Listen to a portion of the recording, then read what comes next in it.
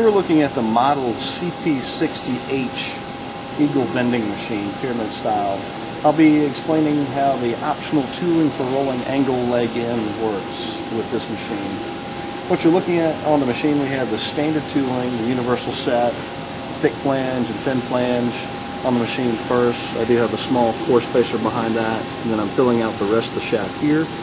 On the center roll or top roll, this is one of the optional tooling for rolling angle uh, this actually comes in a set of two. When we roll angle leg in, we'll use uh, one of the rolls on top. This has an adjustment here for the thickness of the angle. This is a close-up of just adjusting the angle roll for angle leg in. There's an adjustable washer on the on the inner portion of the tooling. This is so you can adjust for the thickness of the angle. This is a this shaft is not keyed, so this rotates. For the lower shafts that are keyed, you'll have to adjust it and then slide it onto the shaft. So here I am, I'm adjusting for the thickness, and I'll use the standard tooling, then shoulder flange to adjust the gap. And then you complete the rest of the uh, remaining space on the shaft with the existing core spacers, like so. And what you want is a slip fit of the angle profile. I'll test this. That looks acceptable. Long rollers are used to help guide the angle uh, through the machine. It's to help also to keep angle leg in from kicking back toward the machine. We'll be pushing out with these. These are cam rollers. The angle wants to corkscrew, so we'll be pulling down on the perpendicular leg of the angle to, to control for twist. Now let's put a piece of angle into the machine with the setup for rolling angle leg in what I, what I have here, I've adjusted the lateral guides out where we're just touching the tip of the, of the horizontal leg of the angle. I have a slip fit to the top tooling. I don't want that too loose, but I don't want that too tight, so just a slip fit. Here on the lateral guide, um, this angle, rolling angle leg in will want to kick toward the machine, so I want to support this end. What I'll do, I'll just adjust out and just catch this edge of the angle here with the lateral guides. That's my first adjustment.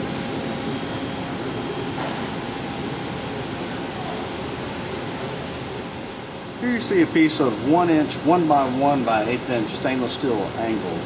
We're going to roll this to a four foot radius. I've got to have this inserted through the machine. One thing that's important is we want the angle resting on the lateral supports so we can control it uh, from the get-go. Now I'm going to move the forming roll down. What will happen is this angle will want to kick up. So I haven't engaged the lateral cam rollers. I'm going to look at the deflection underneath the top roll. I'll eyeball my radius so I can approximate it. I'll move the forming roll down. Once the angle kicks up, then I'll engage the, the uh, Here we're looking at the uh, left-hand side, the exit side of this profile.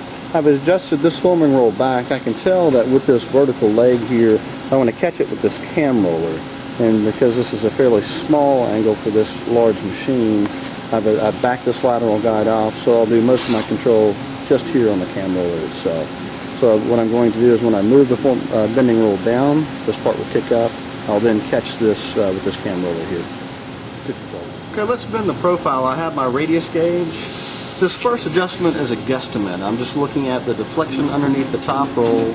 I want an inside radius, so I'm looking at the deflection here of the part. And when I think that's close enough, then I'll start to roll this material through.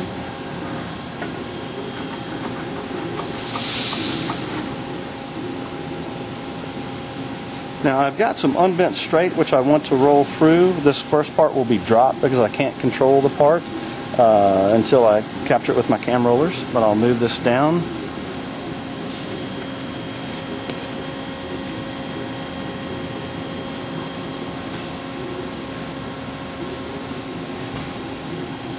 And I'm not going all the way down. I'm going to let this, uh, as the radius comes out, I'm going to let the roll pick it up. The cam roller.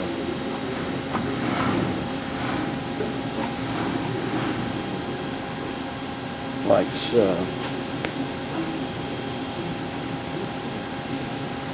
Now we can compare our our gauge here. So I um, need some more adjustment.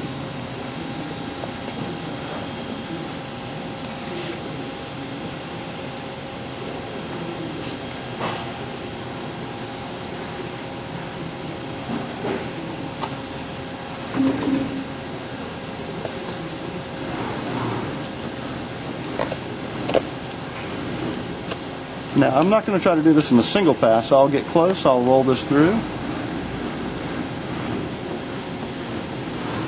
Now let's look at the side of the profile and see how we need to adjust for twist.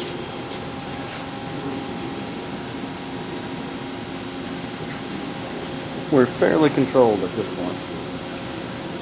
Now, as I notice this part, I've got a slight camber back toward the machine, so I'm going to adjust out with this assembly.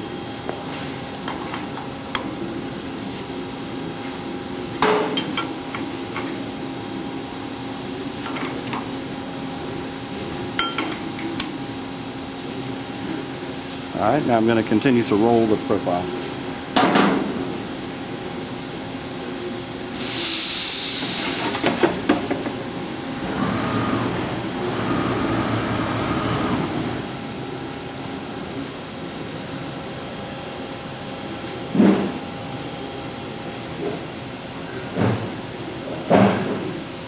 I'm going to engage this lateral roll here. When I start back in the opposite direction, I'm using the lateral guide to help support it.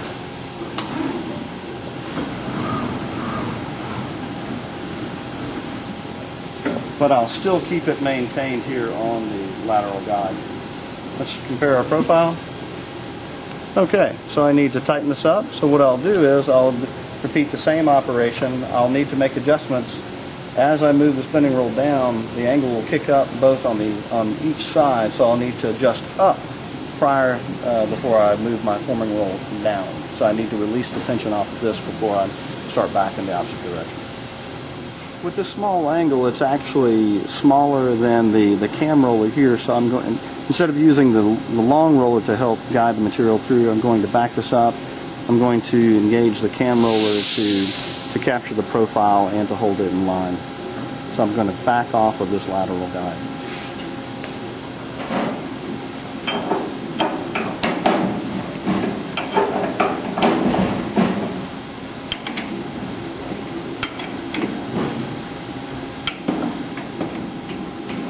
All right, that looks pretty good. So what I'll do, I can adjust this down, but what I want to do is when I move the forming roll down, this roll is going to kick up, so I'm not going to capture it just yet. I'm going to let the roll pick it up. Okay, I'm going to do a second pass. Right now, I'm going to release the tension off of this, this cam roller. Since I'll be moving the forming roll down, both uh, ends of the angle will kick up. I'm still going to contain it here slightly. Now let's, and I'll look at so here I have about yay far to go. So what I'll do is I'll move my forming roll down to make up this difference approximately.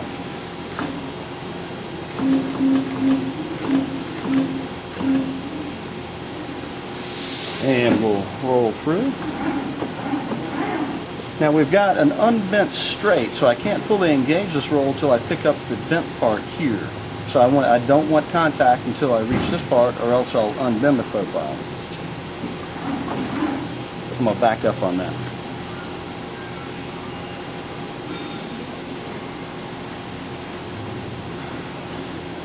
All right.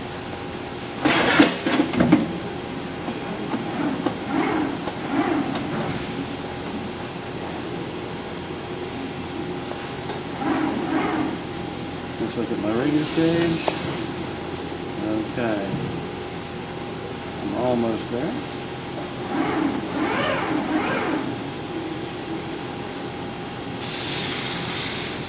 Now I see some, some twist of this angle in this direction, so what I'm going to do is counteract that twist by pulling down on this cam roller. We're forcing this angle to uh, roll straight.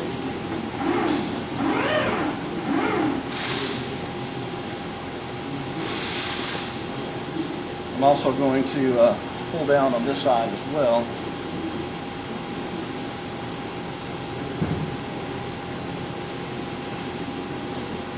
and we'll roll that through.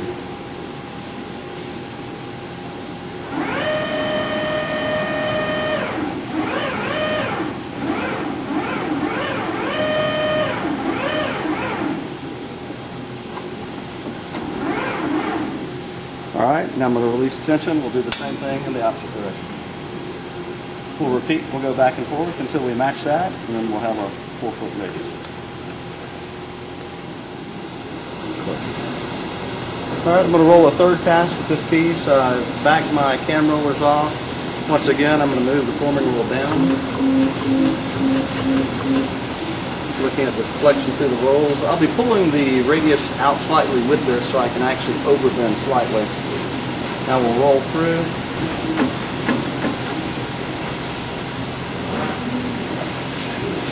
I want to disengage it until I pick up this radius here. Right here we are, we're picking it up.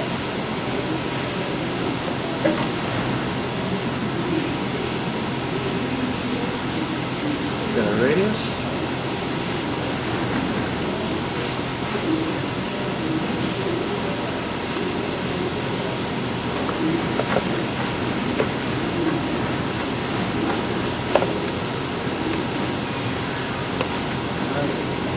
Back it up just a little bit.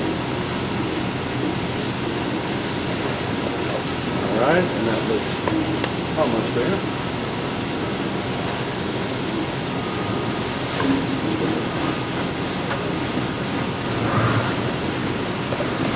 And here we have our four foot radius.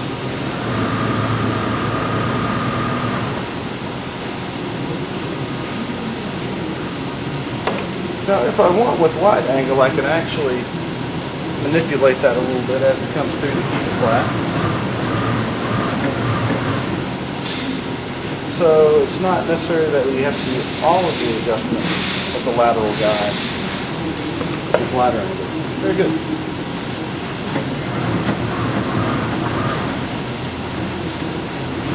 And here we have a four foot radius.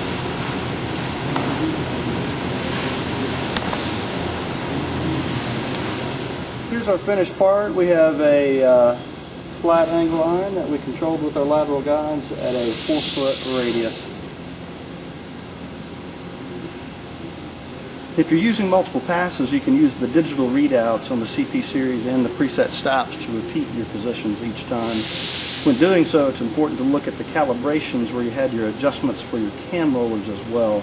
You'll have to repeat those same incremental adjustments to produce the same radius.